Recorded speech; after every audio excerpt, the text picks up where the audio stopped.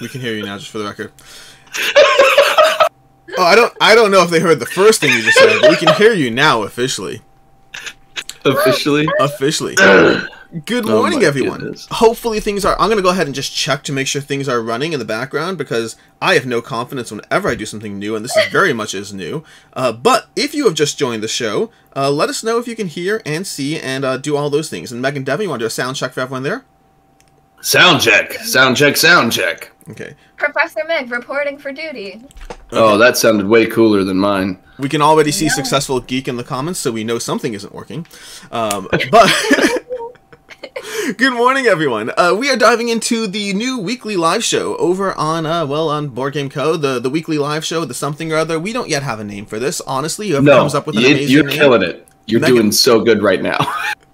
we don't yet have a name. Uh, successful. We did debate doing Meg and Alex in the morning, and also Devon. that was on the short list. Decided not to. A little too Can, inside can joke. we make that the only list? That's amazing. I want I want a community reference in which I am an addendum. Yes, that was that was definitely on my short list. I started it off this morning. I was like, that would be a good name, and then I was like, you know what? We're gonna hold off on that. Uh, this is the weekly live show. We have no format. We have well, it's not true. We have a format. We have a format. We do have a format. We're going to Format. loose, loosely stick to it. Uh, it might be crazy all over the place. I don't know. It also might be a podcast. That's also part of the thing. Additionally, it has a Patreon uh, Patreon influence on the topics, like including this week. One of the topics is Patreon voted, and in the future will be Patreon selected. Uh, it will be Patreon's up there apparently for everybody who's watching. up there, down there. There'll be Patreons. Uh, Devon, do you have a Patreon yet? Uh, no, I'm thinking about starting one. I have not that. started one You should yet. do that. Yeah. I know Meg's thinking about starting one, but she's also thinking about cutting her hair. So who knows? But yeah, the inside jokes start early.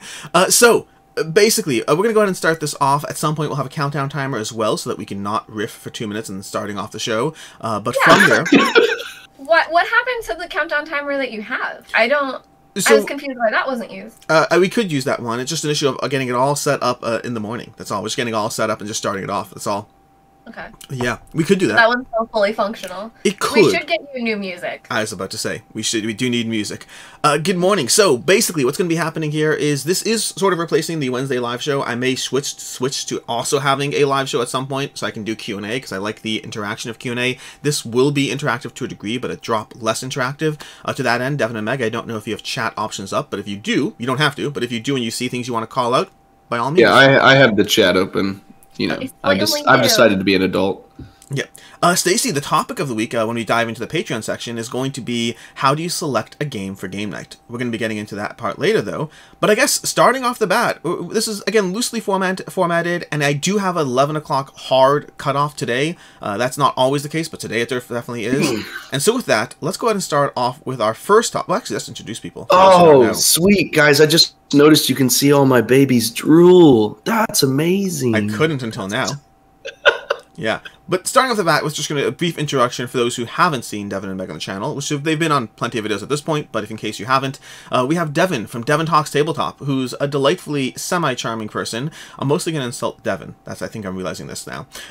semi-charming human It's being. not going to leave me any room to insult myself. Thanks a lot. Uh, but he has a channel called Devon Talks Tabletop. You should definitely check that out.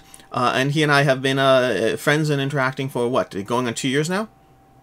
Yeah, I'd say it's about been two years, which, which is crazy to say that. uh, You know, it's, It it feels like I only just met you. Feels so much longer. Oh yeah, that's what I meant too. Yeah.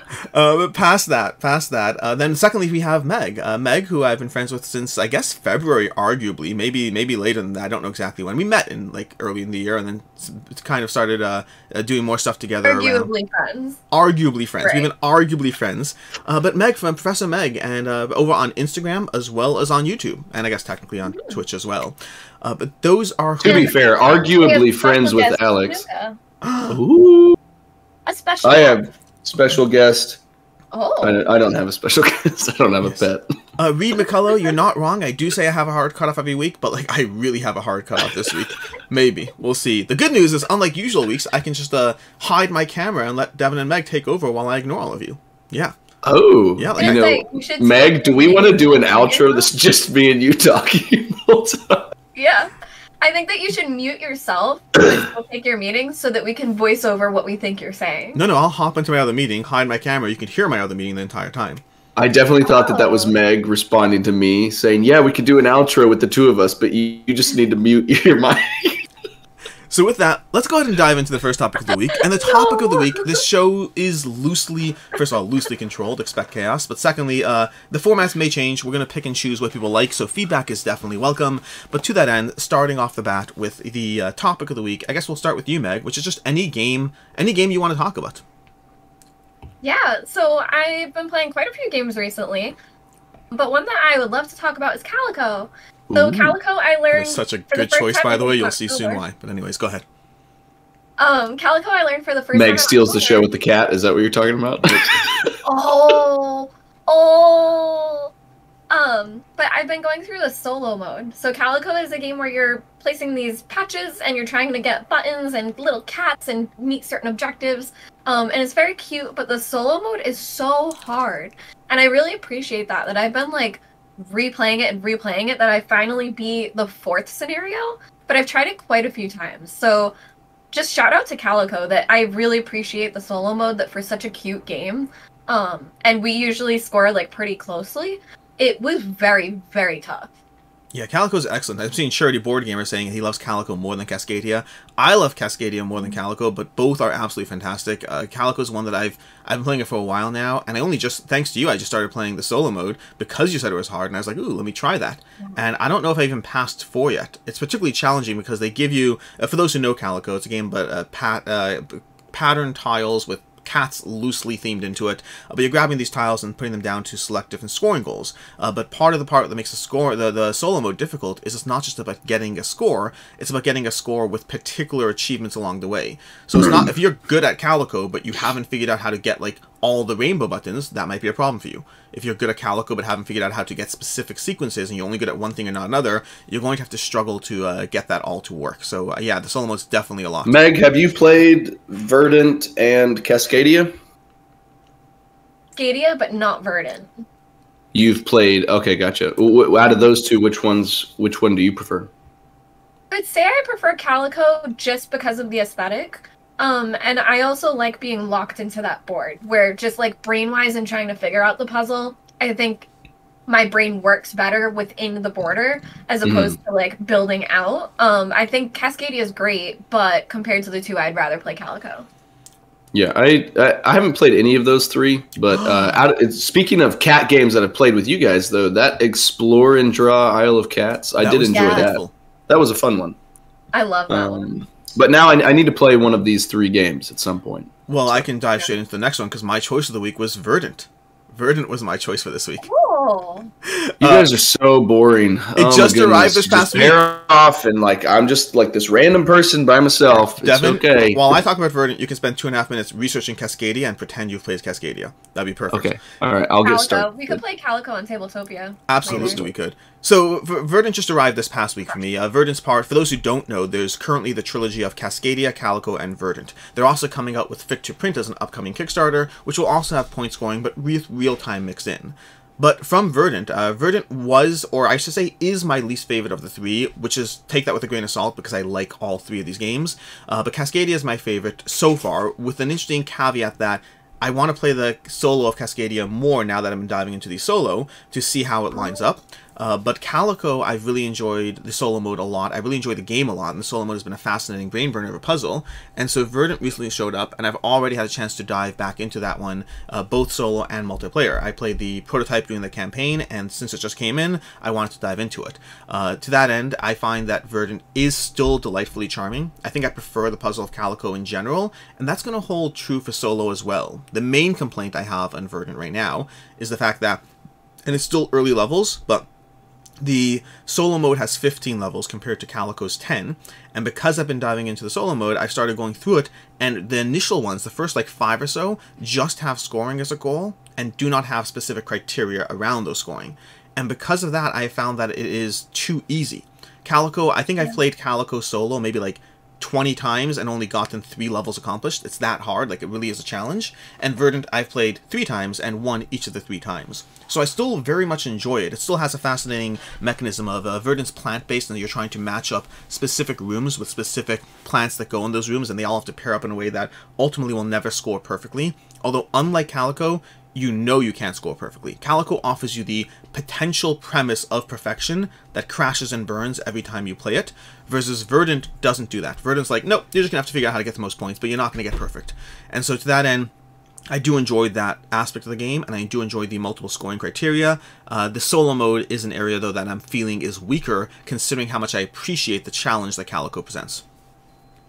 And given how much I know of uh, Cascadia, Verdant, and Calico from my um, just numerous plays, I'd say that that rather exhaustive explanation. Now I know why you have to have hard cutoffs. Um, but uh, yeah, no, it definitely definitely makes sense to me my game, curiously enough, uh, is Cascadia. So wow. really crazy that we all picked uh, those three ones. And obviously, for everybody else who's familiar with Cascadia, um, the one to four player game designed by Randy Flynn is one of my favorites. And I love that it um, is a really good abstract that I believe it's the number uh, one rated abstract on Board Game Geek, if I'm not mistaken. It, it, it yes, it is. Um, I know that because I looked that up recently. Um, mm. Just gonna close this tab real quick, and so my game uh, is Lost Ruins of Arnak, um, because uh, the three of us have planned a play this, not that between Lost Ruins of Arnak, Dune Imperium, and Endless Winter. And caveat, caveat I, for those who are like, but doesn't Alex already have that on his channel? Yes, but not with multiple opinions, and this is incorporating all the expansions. How does our opinion change with expansions? Opinions. Hmm. Yes. That is also what I understood to be the case. I didn't think it was just us talking about the base games. Um, yes. So now that we're all on the same page, which we already were, um, I had never played Lost Ruins of Arnak, so Alex taught me very recently on Board Game Arena, and it's always enjoyable to be taught a game by Alex when he uh, intimately knows all of the ways to destroy you, and then showcases it. I actually, Meg, you'll appreciate this. he Did started teaching. No, he started teaching the. I mean, he can't on BGA. It forces him to score correctly. Um, but but uh, oh my gosh, hey Henry Audubon's in the in the chat. Henry, hey Henry, how's it going? Can we pivot no, and talk about Oct- uh, Octa Cosmoctopus all of a sudden? No, because then I won't have a topic for later. Oh, shh, shh, never mind, never mind. Later, later. Shut up. We'll talk about it later. Um, and so uh, yeah, so Meg, we're playing, and he Alex is doing his classic teach, and he's like, "Are you with me? Okay, cool, cool, cool. Um, all right, you with me? Cool, cool, cool." And he gets like eight minutes in, and I just go, oh, okay. And I immediately move to a location and I go, is that how I go to a location? And Alex just like pauses with obvious distress on his face. And he goes, did you just make a move in the game without knowing the context of what, how that could help you?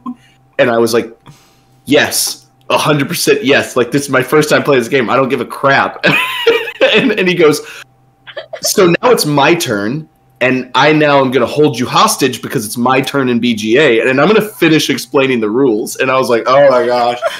but so he did, he did just absolutely destroy me 90 to 61. So uh, it was, it was a, it was a, but I had a lot more fun playing the game. I kind of had a like stigma towards um, Lost Ruins of Arnak because I love Dune Imperium so much. I was like, there's just no way I'm going to like Lost Ruins of Arnak anywhere close to Dune Imperium. And, and, it's still like, if I still had to pick between the two, I'm picking Dune Imperium. But one play, Lost Ruins, one play. But no, but I'm trying to say, but Lost Ruins of Arnak is so different that I really don't even see the fact that like other than the deck building that they do and the fact that it also has worker placement, other than those two mechanics, I see absolutely no reason as to why that was such like an intense furor of like comparison between the two when they came out. Can I offer two points of context there? Okay. No, no, no. I'm gonna let Meg talk because oh, please, uh, ahead, it Meg. takes the two of us to shut you up. So. go ahead, Meg. I don't have. I, I, Devon's like, I'm gonna let Meg. so back to me. And Two points like, of context. What is my point? Let me pull it out. The first here. is: Do you at least acknowledge that many people do compare it, even if you don't personally see it? Yeah, no, I, I, I know Great. a lot of people do. Can we also acknowledge that you tried comparing Dune Imperium to Twilight Imperium? Uh huh. Okay, good. Now that we've established different points of reference on what opinions matter here. anyway, so how is Lost Meg, in you better have a. Oh, I'm. I he can't beep live, so Meg, you better have a point uh, to interrupt him now. Uh huh. Yeah, deck building's great. Oh my gosh. Yes. Yes. Deck building's great. Super good. All Love that it. mechanic. And, and Stacy is pointing out in chat that I destroyed you in a game I was teaching, and I definitely agree with that. With two, meaning meaning from a completely side topic, but teaching a game and destroying people, I den- generally don't recommend. I think it's better to be easier going when you teach a game. Uh, but what I would say two caveats. First is that it's Devon, so I don't care. Um, and secondly, oh, here you go. the second is that he literally started making his moves before I finished teaching the game. It's not my Yeah. fault I destroyed him; it's his. Yeah, you, you started him off angry. No, I He's I like, you, "You're not gonna play optimally? Oh, I'm gonna show you. I'm gonna show you." Yeah. To be fair, Devon, Alex is used to teaching me games, and I usually beat him the first time he teaches me a game. So I think he just had the difficulty level up a little too high for you. Uh-huh. Yeah, Uh-huh. yeah, that's fair. That's fair. I also suck, but uh, what? Yeah. You- Anyway, You, just gotta make sure that Alex is counting everything correctly, because that doesn't always happen. it's BGA. I don't have a choice. But do you though? But do you? Challenge that. So with that, uh, uh, Devon, do you want to go ahead and, and pivot to uh, your your Kickstarter of the week that may or may not be something we talked about? yeah. Uh, if Henry's still in the chat, uh, my goal was to. So I know that we've got all like big campaigns. You've got Slay the Spire. You've got Cthulhu Death May Die. You've got Oathsworn, and I have you know thoughts and opinions on those. But the one that I wanted to give the shout out to is actually Cosmoctopus. I recently on my channel did a interview with the designer Henry Audubon, who was in the chat uh, just earlier, and then also um, the publisher Ki- uh, Chris Kingsnorth, who's part of Paper Fort Games, which is a sister company to Stone Sword Games for those of you who are familiar with games like Senjutsu. Um, and so Cosmoctopus is the next one from Henry, uh, and he's the designer of Parks, if you're familiar with Parks. And this is a game that I got to see in person for the first time at Essen. I didn't have the time or opportunity to sit down and play it, but it looks just sumptuous. Everything about the graphic design on that I love, and I am super excited to check it out. So this was kind of my like, hey, if you don't know anything about Cosmoctopus, go check that out because uh, they've successfully funded, but obviously, um, you know, I want to give Henry as much love as possible because he's he's an awesome guy, and him and Chris have done such a great job with that game, which Yeah. I'm super excited to play. That one is very much on my radar. I, I don't have a good full sense of exactly how it plays. I know the general the general sense of what's shown on the campaign page, but like actually playing is something I want to do. But it seems very puzzly. And as we talked about with Calico, Cascadia, Verdant, and all that, I very much enjoy puzzly style games, and I love parks. And so between the two, and the fact that we just have a Cthulhu styled octopus situation going on, um, I'm very intrigued by Cosmoctopus, and it's very much a game that I absolutely want to try at some point. Yeah, no, I'm, I'm super excited about it. They're also going in the um, intelligent marketing vein of uh, Flamecraft, and they have little plushy octopuses that you can get at their on the campaign. So, Yeah. Oh, but super excited about it. There you go. And Henry apparently still is in the chat for those uh, paying attention. But yes. Awesome. Hey, Henry. And the octopus are I did not hear about the flushes. So Yeah. I, I I wanted to back. I hopped over to the campaign. I'm still on the fence with to back it away for retail. But like I was like I saw that they had an early bird for the for the plushy octopus, and I was like I missed that. I would have totally jumped in for that. Now it's like Yeah. okay, do I do? We'll figure it out. But either way, it looks. But they also have it. It's not just an early bird. You can add it as an add-on yes to the campaign. So yeah. Uh, okay. Max like, oh my Do gosh, oh my gosh. Oh what my are you gosh. waiting for? Um, now, also, just for those who, because I didn't really announce the format aspect, but basically we have three different sections to this uh, weekly live stream, whatever it's going to be. But in between those sections, we're going to have people picking random uh, Kickstarter, not random, selected Kickstarters they want to talk about. So you're going to see three sections and two Kickstarters every week. That's going to be the basic format, at least until we immediately change it next week.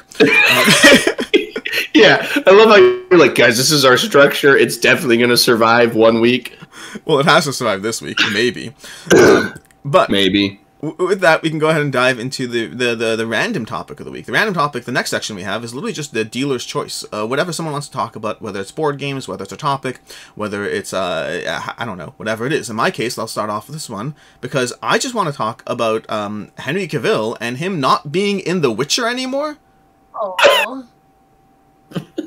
What's up I with didn't that? realize that the pre-chat was going to turn into live stream chat. the pre-chat we had was definitely going to be the live stream chat. So, I'm so, here's here's the only thing that I interpreted from that. I Sure. interpreted one of two possibilities because I I haven't read too have much four. other than like the initial um like news and then some very like random speculation. But my assumption is one of two things. Number one, uh, the game, the video games themselves, like actually sometimes go to different parts of Ger- Geralt's like history and time, uh, like his age and like what he's doing. And so one of the things that I wondered is because it's not like I, I, I think part of the like some people who just look at it without understanding like or looking reading it and they just see the title um, like season three is already Henry Cavill, Yes. you know, so he he's in that. It's just they've already immediately um, uh, re-pledged for season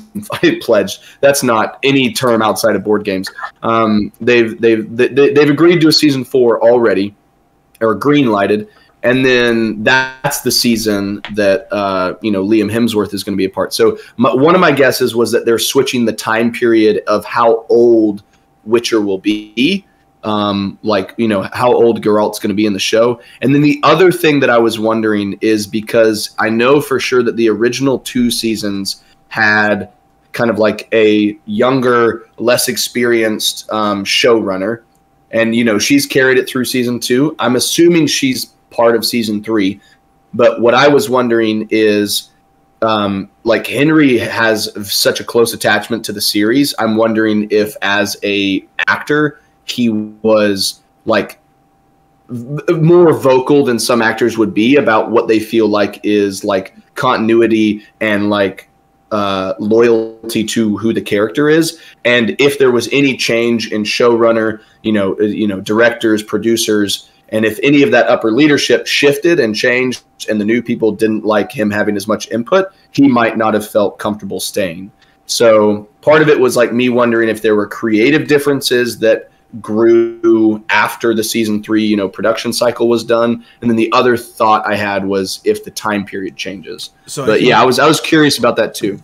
Yeah, so I can say for a few things. I mean, I do know that there was even just a Oh, year Henry ago- had signed on for seven seasons. Someone said. I don't know if that's true. I didn't see that anywhere. Oh if that's true, that's that's interesting.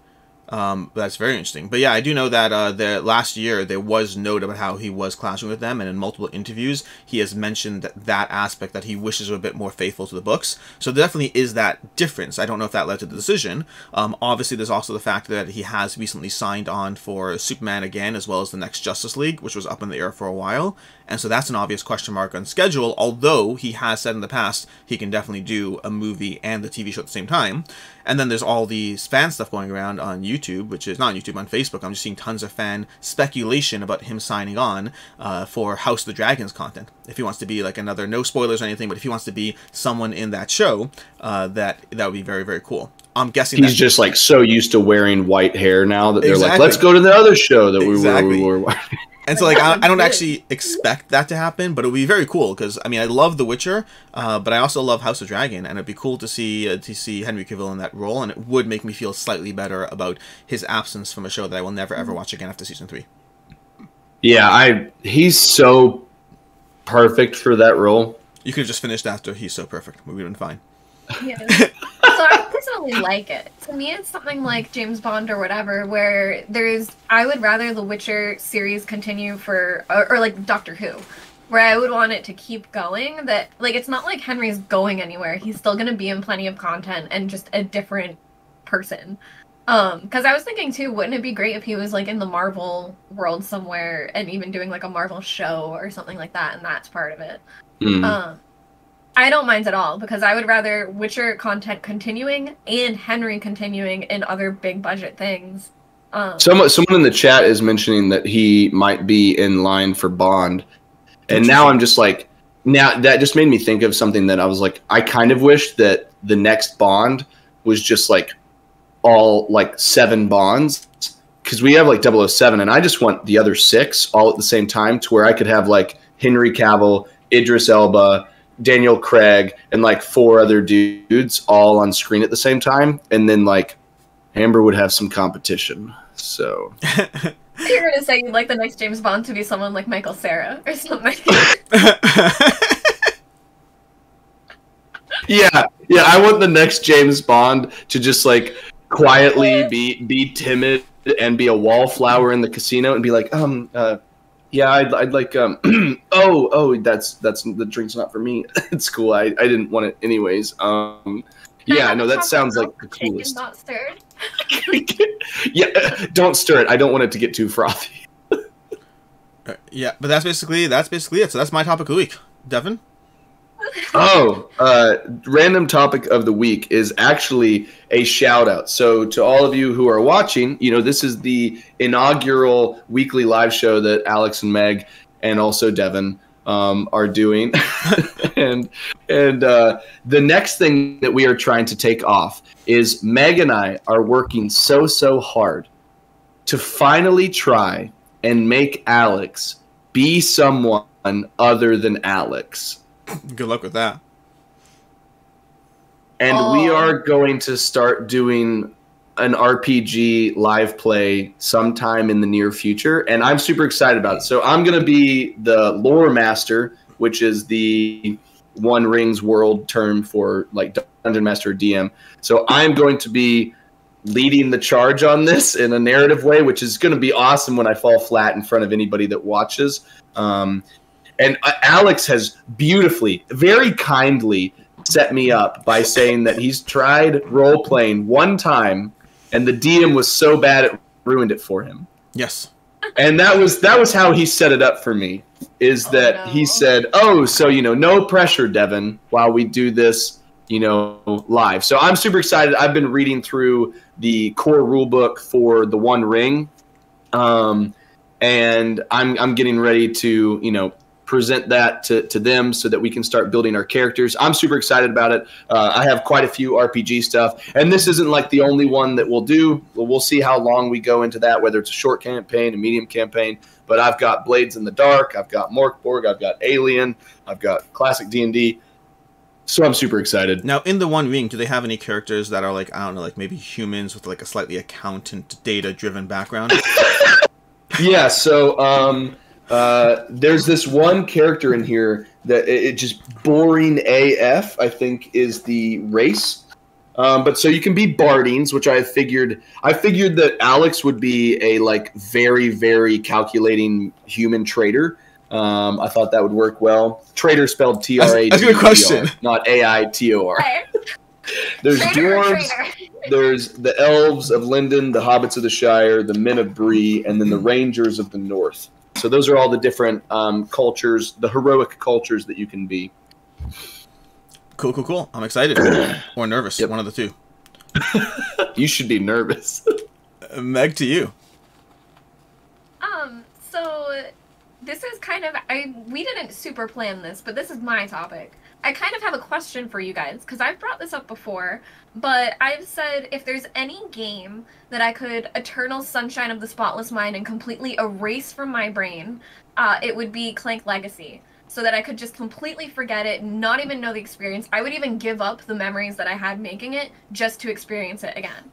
So, is there any game that you guys would love to completely wipe from your mind, either because it was so upsetting or you had such a bad time with it that you'd like to give it a fresh start, anything I played with that Devon. you loved it so much that you'd love to play it again from the beginning. What did she say, Alex? Anything I played with Devon. Oh. Um, it's a great question. I don't know if I have an answer. Like, I don't have. I know you've talked about Clank Legacy before, about that aspect. Uh, you know, that that the desire to forget it just so you can do it again. Um, and it's such an interesting concept to me because for campaign games, for me, I think the only thing I have that possibly has that feeling would be Pandemic Legacy. Uh, but I don't know if I cared that much about the story. It was good. It was good. Don't get me wrong. But I don't know if I feel that. Oh my gosh, I wish I could forget it just so I could re-experience it. And I don't know if I has any other games that fall into the category where I wish I could forget it so that I could re-experience. I felt that way about books. I felt that way about movies. Games haven't inspired that level of devotion from me yet. That I can think of. And you have any where it was so bad that like you didn't pick it up again, but you wish you could pick up a game again? In what sense? Like, what do you mean? Uh, like uh, Werewolf Legacy. I Mhm. had such a bad time. I don't know if I could ever play that game again. Hey The Meg, group that I could played with, it you really bad. could you uh, turn up your volume for your mic on your computer at all? Just because Alex and I already have the tendency to be loud and obnoxious, and apparently you're quieter for quite a few of Yeah, people. I've seen that chat. comment in the background. The only problem is I can adjust my Yeah. volume versus the two of you. I can't separate the two of you though. I don't Mm. know if I know how. I don't know if I can do that, but I can sit closer and talk louder. That would that would do it for Sit right now. closer, talk louder. That sounds. What is that? Oh man, that sounds like. Was that a movie that came out? Like, Interesting. In what sense? huh? What movie was that? Sit closer and talk louder. Yeah. Closer, loud. There's some movie that has those descriptive words in it that I'm like tr- that that just like sparked my brain. Anyways, um, let's see. Uh, yeah, I, I'm kind of with Alec. Like, I, I usually don't have, at least with board games, such a visceral reaction that I want to like wipe it from my brain. Um, I have games that I love a lot, but the only game that's like legacy that I would have that I've played all the way through that I would have ruined for myself would also be Pandemic Legacy. And if you had asked me like right after I finished that, maybe that would have been my answer. But now that it's so distant from when I played that, it's not that I've forgotten it. It's that that game is like no longer what I would want to spend like my legacy or campaign time with. Um, I've just kind of like shifted in terms of my preferences. So, like, I, I don't think I've had one that was like so good that I'm like, oh my gosh, I need that to be an, an experience again. And then also like, I've had some bad experiences playing games, but it's generally not the fault of the game. It's generally who I'm playing with is like making the game like less uh, enjoyable an experience than the game itself. So if, if I have to pick something like Alex was talking about like movies and TV shows and stuff like that, I would probably say I, I want the time back that I wasted on uh, Wheel of Time. The the not the books, absolutely not the books. The TV show. I want the time back that I wasted on that TV show. Yeah, successful. First of all, thank you for the tip. I uh, now have users. I'm able to now adjust the two of you in Discord directly, so that should Yeah. hopefully be fine. Uh, Alex, past- that, that showed in the stream. I know. I saw. I saw it pop up. Okay. Yeah, it's okay. The button for delete and ban users also there. Um, but anyways, uh, I, yeah. In terms of if we're focusing on if we're focusing on getting time back, that's a whole different story. There's a lot of bad games I wish I could get the time back. Uh, but forgetting, I don't know if I care about forgetting them necessarily. I'm, I'm sure it'll happen one day. I'm sure there'll be a story at some point that I really do care about a lot more. Uh, but I'm just not there yet. Sounds like we all need to play Clank Legacy together. Uh, I'm I'm down Team for it. building. I've been very clear. I'm down for Clank Legacy. I'm down to try it out. Yep. And thanks, Maxim, as well. I appreciate it. Yes, I, I'm trying to like be balanced, responding to chat just a bit versus not enough that we derail the stream because I already have the two of you for that. But Yeah, yeah, no, I'm I'm I'm I'm I'm I'm in the chats. I'm in the chats. I'm in there. Since I can't respond to comments right now, I've got to respond to comments elsewhere. which means from there we can go ahead and dive into our next. Uh, well, before we dive into the next segment, we have our our, our next Kickstarter. Kickstarter. Meg, what do you have for us? Oh my goodness, you guys! Unfortunately, it's November 2nd, so it's a little bit past its time, but we can celebrate Halloween all of October and a little bit into November. Uh, the one I want to talk about is Dreadful Meadows, uh, which Mm. is actually right behind Alex now. Um, It is. Dreadful Meadows Nope. right now has it has 39 hours left to go, so it's only running a little bit longer. Uh, but it is a delightful game. It's Halloween themed, where you're playing as different, I don't know, sprites, spooks, whatever they are. Um, and you are collecting candy. It's tile placing, so you're grabbing tiles from a market. You're using that to generate candy, and then you're using the candy to both buy more tiles, buy um, Harvesters. I want to say contractors. What's the thing? Harvesters. harvesters and um, you're trying to meet different objective cards. So it's basically just an engine building game where you're trying to get as much candy as possible and use it in as many ways as possible. But boy is it cute. It is very delightful. I had a great time playing it. Um, so much so that that's another one that i dove into the solo mode because i've been playing a lot more solo games especially online. Um, and the solo mode was a bit easy. I played it a little wrong, so I think it still it wouldn't have been as easy, but um solo mode wasn't quite what I wanted it to be, but competitively it was so fun and it's so cute. I really enjoyed it. Yeah, it's actually I was hoping you'd mention that one because that's one that I played as well. Uh, that's definitely one that I, I very much. It's one that I saw on Kickstarter and looked charming and looked also a little too family friendly though. Uh, and so, but the the good news is a lot of the people who had covered the game said specifically, no, this game has bite to it. This game has decision space around it. And to that end, I hopped onto Tabletopia to play it. Uh, really enjoyed it, and Jesse had a copy, so I wrong soldiers. Jesse had a copy, and so I ran and got picked it up, and I actually have a video going up today at 1 p.m. Eastern Standard Time For on the channel. anybody wondering, that is that is figurative language. Alex has never run for anything. Um, he walked sedately over to there and picked it up. Yeah, that sounds He did not run. I did not. He not did not run. Yeah, but um, no, I grabbed the game. I, I also and Meg, you mentioned playing solo. Unless I played it wrong too, which I don't believe I did. Don't get me wrong, I play games wrong all the time. But um, in the solo mode, I also my biggest critique about the game. I had two main critiques. I loved the game. I thought it was charming. I thought it was well done. I thought it had great decision space. Uh, but the two critiques I had is the first is I feel like I want the game to have more variability built into the experience. Uh, it's the kind of game that it's the same puzzle every single time, and so unless they have like goal cards or something to mix up what you're doing, right now the only thing to mix it up is the asymmetric characters, which is nice, but doesn't mix up what you're doing or what you're going for. Uh, but then secondly is I thought the solo mode was a straight up cakewalk, not even a question. I thought it was a cakewalk. Like it's like, hey, beat this score, and if you beat these scores, you're doing really well. So I crashed the really well and completely destroyed it, and like I either I don't know, I, I either I'm playing it wrong or You probably cheated. probably cheated. It wasn't on. T- it wasn't on Board Game Arena. So It's just in your nature. I mean, he did it on Lost Ruins of Arnak too. You know, he he fudged the scoring. yeah. Well, the solo, it. Unlike you, Devon, the solo mode at least waited to take its freaking turn before I taught the game. Yeah. that, maybe Um, that's why you beat yeah, it so well, is you taught it the game.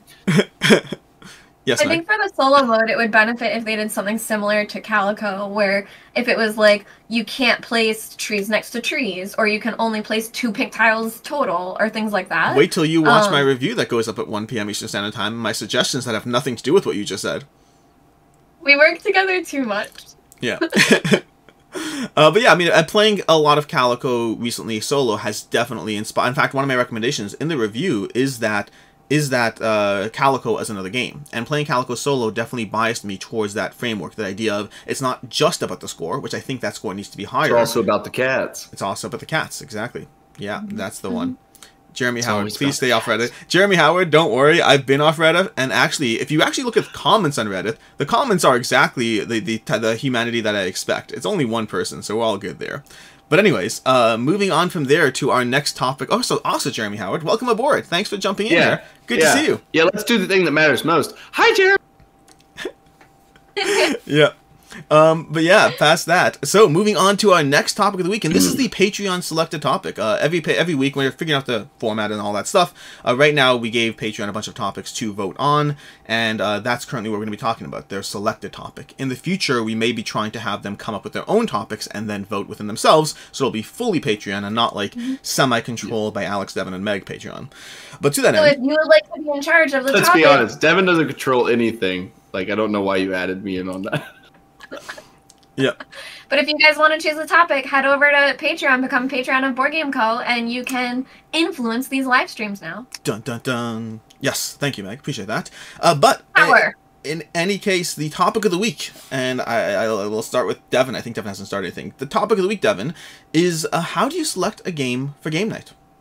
So, this is. I'm going to answer this in a very Alexy way. So, I have four answers. Very interesting question. Very interesting question. Okay, so Let me rephrase the question. So first thing before we get into this, we have to understand that there. I can't even. I don't even want to talk that fast, and my brain doesn't even like function Wait, at wait, that speed. wait, so I'm call just back. going to slow call down. back. Call back. If you want to answer it in Alex way, just be like, "Well, that's a stupid question." So, anyways, someone petrified in chat just goes. Devon's just happy to be here. Oh, I worry sometimes about the image of myself I project to the world. Um, it's too accurate. Um, so, in terms of like how to pick a game for game night, to me, it depends first on who all's coming. Like, it depends on the number of people and the types of players that you're playing with. If it's like your regular play group and they all share a lot of your own interests, then your choices are different. But like for me, where I live, if I'm not playing with like Alex or not not Alex and Meg when they come visit. But if I'm not playing with Allison and Daniel from Play the Game, or I'm not playing with Amber or my sister who play games regularly, typically I'm playing with some people who don't play games a lot, which means I need to bring a lot like lower um, threshold for like complexity and death. Death. Um, Death. Yes, I bring hardcore death to my game night. I, I admit depth. But uh, like you know, it, it, this was actually an interesting conversation. Uh, Paul Grogan from Gaming Rules was doing a live chat, and someone talked to, with him about this. And they were essentially he was describing the fact that because people like say you have someone like Uwe Rosenberg, say you play games like Feast for Odin and all the time like that, then because you play those games, you might be under the like perception that maybe like Nusfjord or whatever the new one is is like a lighter game and you're like oh feast for odin is like my regular fare so this is lighter. And it's like if you try to introduce that to people who don't play board games often because you think it's lighter based off of what you play like that's idiotic. It's just it's just stupid because it, it doesn't like actually fit for that. And then you'll have games like marvel united which like you know mechanically is very very simple to someone like me but to someone who hasn't played games very often like they have to think about the fact that they need to go to different locations. They're not only playing a card but they're using someone else's card and then the card that they're playing is going to be used by someone else. They have to like focus on quite a lot of things. And so it really depends on who all comes to play. And at my house if it's not any one of those like three or four people who are steadily and frequently around me it's someone that doesn't play a ton of games. And so i have to be like very mindful. Like recently i played uh, the quick and the undead from inside up games. And like that was fine for me but it was it's a language independent game. And i taught that to a couple people who don't play a lot of games. And you know that 30 to 60 minute game took us like 90 to 100 minutes.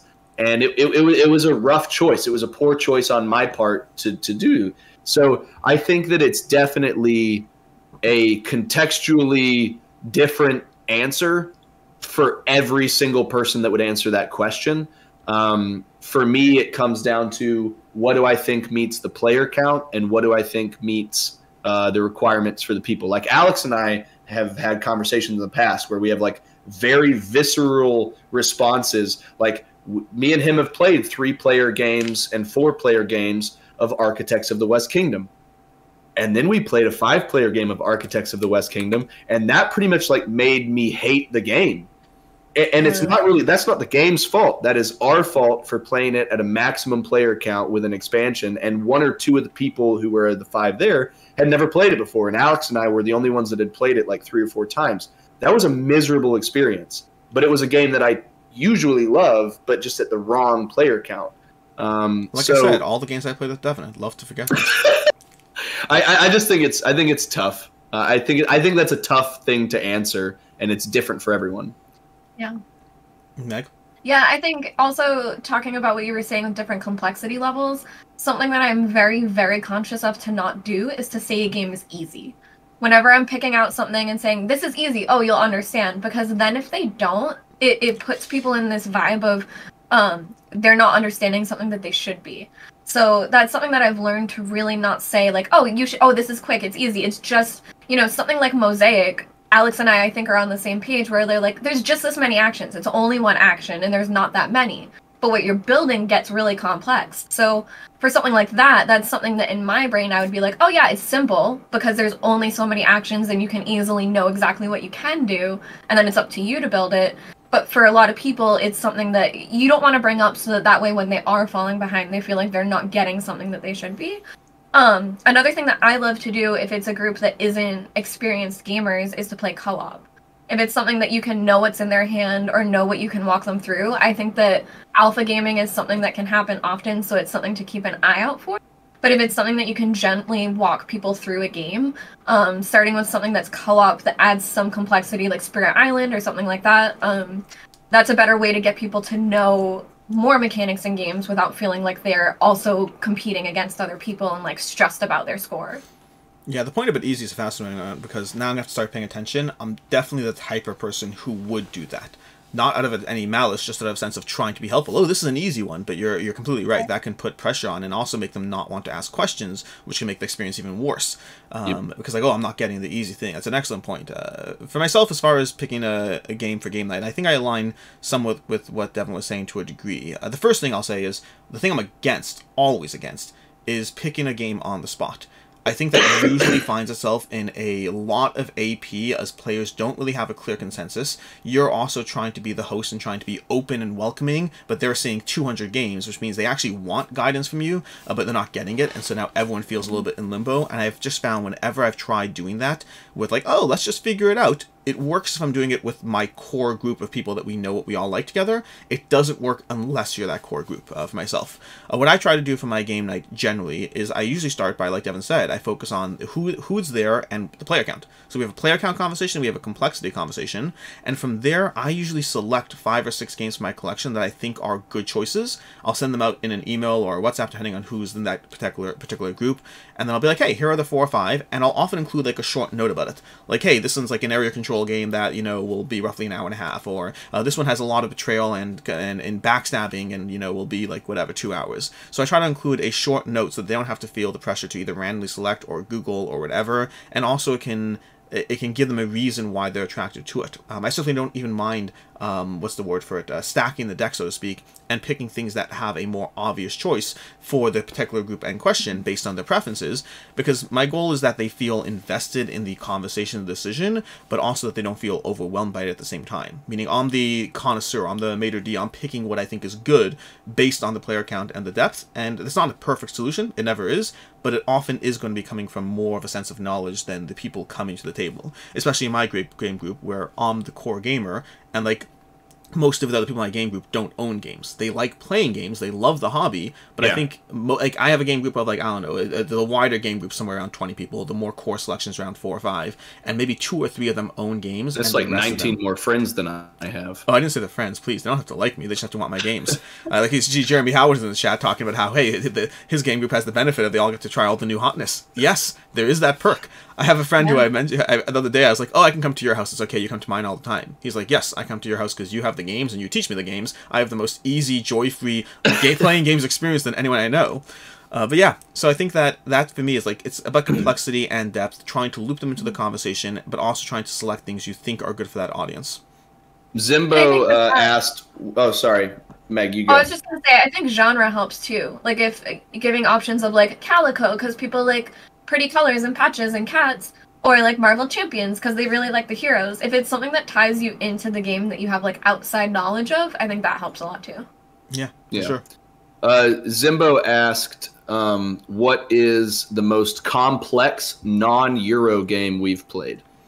Ooh, the most complex. Oh, I have it. I have it. I got it. Okay. Sword and sorcery.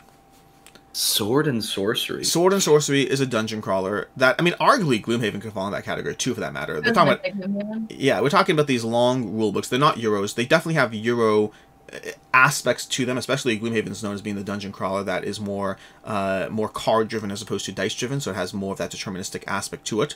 But uh, for me, I think Sword and Sorcery is the one where I find Gloomhaven is actually not as complicated. Gloomhaven has more rules than Sword and Sorcery. It's slightly longer in terms of the rule book. For me, the thing that killed me about Sword and Sorcery is that I, I really enjoyed the game. It's a long dungeon crawler, 60 page rule book. I liked it a lot, but then I just found managing the enemies, the AI enemy card was, and it's a thing that I guarantee you if you play it five, ten times, it gets a lot easier. But for me, I played it like twice, and like each time, like whenever it was the enemy's turn, I had to like check this card and go through a complex type of interactions on top of a 60-page rulebook of how much stuff is going on. And overall, I found that I was not as compelled as I would like by the experience to want to constantly do that. I was like, this is really fun. This mm. is really good. In fact, one thing I'm very excited about is I know that I saw the announcement that they're bringing Sword and Sorcery to the Taboo system, the Taboo system, which manages all your things with the app. And I actually thought that was an excellent an excellent match because I think Sword and Sorcery was a great game that I didn't want to manage a lot of the elements, and I think putting on Taboo is a good uh, matchup for trying to bring you the game with less complexity. Hmm. What about you, Meg? I say Gloomhaven, just off like the top of my head, which I love that complexity. I love heavier games that um for something like that. Alex, I've never played the one that you said, but something like running the monsters in Gloomhaven, it is a lot. It's a lot of upkeep and even knowing things like monster movement and how things spawn and things like that. Um, it is tricky, but I love it. I absolutely love upkeep. I love rules. I love knowing where things should be. Um, I enjoy that a lot. Hmm. And Devon, for you? Yeah, so I think part of what Alex was talking about made me think that like I feel like there's almost like two different answers to that because like if it if I'm thinking about complex, I'm thinking about whether like whether the game is complex, but then also you mentioned rule books, and I think that sometimes a poorly designed and written rule book can make a not as complex game complex to learn.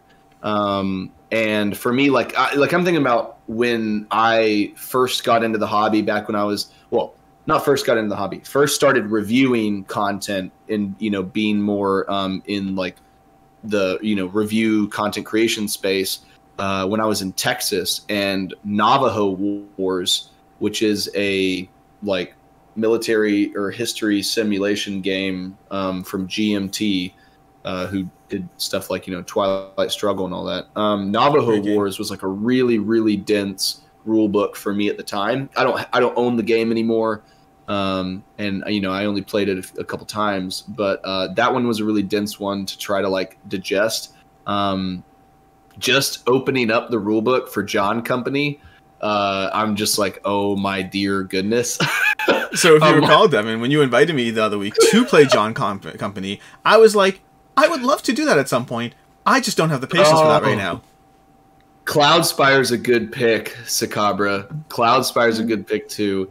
I will say Chip Theory is getting better at rule books. Like Yes. they have grown so much over the years in terms of making rule books better. Like Burn Cycle was their best to date, and I don't have Hoplomachus yet. Um, I know Alex still has his copy.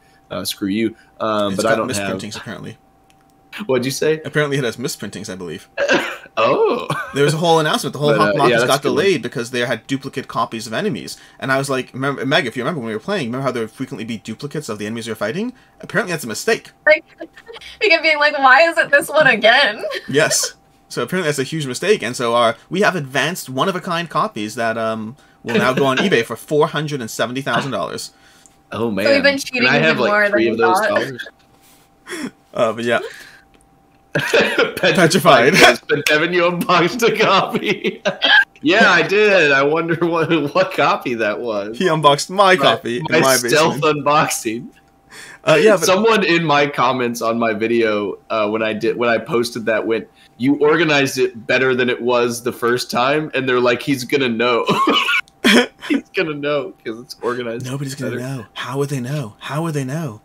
But uh, yeah, a bunch of other comments as far as other options. I do think Too Many Bones is a uh, most AAA games I do think are a slog to learn through, but I think that once you get them Yeah. up and running, they're very good. Mage Knight is an excellent choice. That every time I play it, I have to relearn it. Uh, I think it's a very tough one.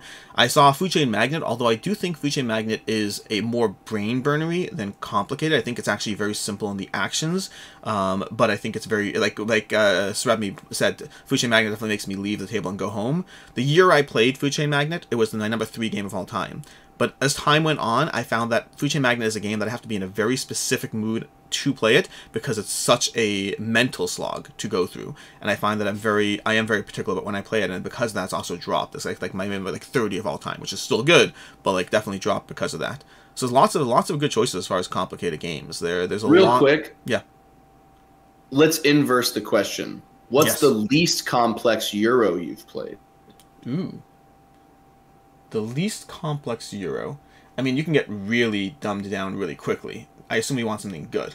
Are you talking about just me personally? Yes.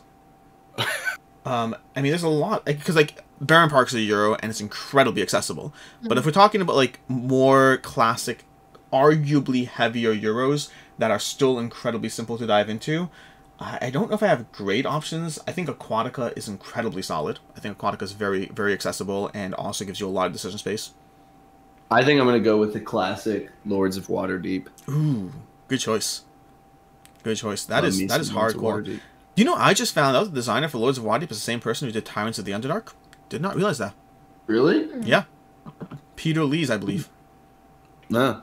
Yeah. Yeah, Jeremiah appeal. Like, yeah, I agree with you. Ticket to Ride is a great choice for a very accessible, simple Euro. That's why, like, I'm trying to balance hmm. like what I think of as being more into the medium heavy while still being incredibly easy.